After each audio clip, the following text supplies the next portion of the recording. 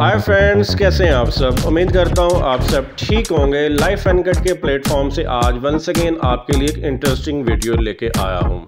दोस्तों आप सबने सुना होगा कि सोशल मीडिया का एक फ़ेमस प्लेटफॉर्म ट्विटर जिसे एलॉन मस्क ने खरीद लिया था। 27 अक्टूबर को बहुत से दिनों की डील के बाद आखिरकार उन्होंने फाइनली इसको एक्वायर कर लिया है और उन्होंने आते ही एक बहुत मशहूर मुल्क के तीन से चार एग्जेक्टिव्स को पहले दिन ही फायर कर दिया है। तो आज की इस वीडियो में मैं आपके साथ शेयर करूँगा कि एलॉन मस्क ने ट्विटर ख़रीदने के बाद उसमें क्या क्या तब्दीलियाँ की हैं और आखिर वो कौन सा मुल्क है जिसके लोगों को उसने फायर किया है और किन वजूहत की बिना पर फायर किया है और उनके डेजिग्नेशंस क्या थे। मेरी वीडियो को स्टार्ट करने से पहले मेरी आपसे रिक्वेस्ट है कि मेरे चैनल को सब्सक्राइब करें और बेल आइकन के बटन को हिट कर दें ताकि मेरी तमाम तर वीडियोस आपको मिलती रहें। ट्विटर को मुकम्मल तौर पे एक्वायर करने के बाद एलॉन मस्क ने जो पहली ट्वीट की, वो कुछ इस तरह थी दी बर्ड इज़ फ्रीड अब इस ट्वीट में अगर बर्ड की बात की जाए तो बेसिकली ये वो बर्ड है जो ट्विटर का लोगो है।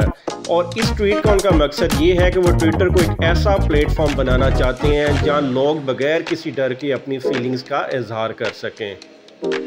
और इस बात का अंदाज़ा यहाँ से भी लगाया जा सकता है कि सबक यूएस प्रेसिडेंट डोनाल्ड ट्रंप जिनका ट्विटर अकाउंट ब्लॉक कर दिया गया था, अब फाइनली उनको एलॉन मस्क ने दावत दी है कि वह दोबारा आकर ट्विटर अकाउंट को ज्वाइन करें, लेकिन न्यूज़ के मुताबिक डोनाल्ड ट्रंप ने इसको पोलाइटली डिक्लाइन कर दिया है।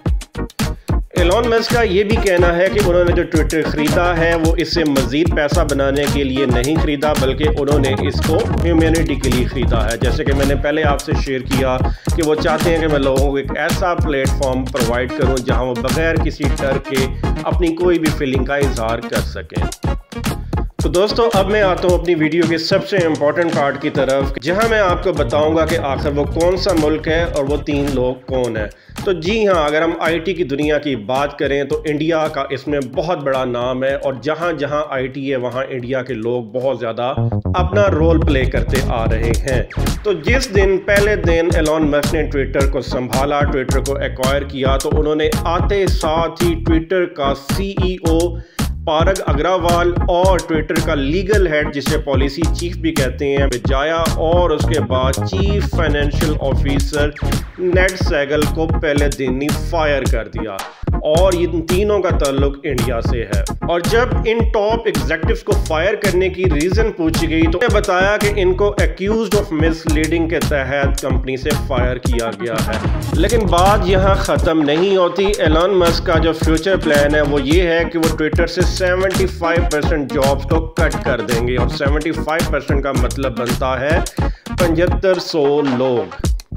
तो फ्रेंड्स अब हम देखेंगे कि एलॉन मस्क ट्विटर को लेके कैसे चलते हैं, जो उन्होंने दावा किया है कि इस पे लोग बगैर किसी खतरे के अपनी कोई भी फीलिंग का इजहार कर सकेंगे, क्या आया ऐसा हो पाएगा या नहीं हो पाएगा, और जो पचहत्तर सौ एम्प्लॉयज़ हैं, उनका फ्यूचर में क्या होने वाला है, ये वक्त ही फैसला करेगा।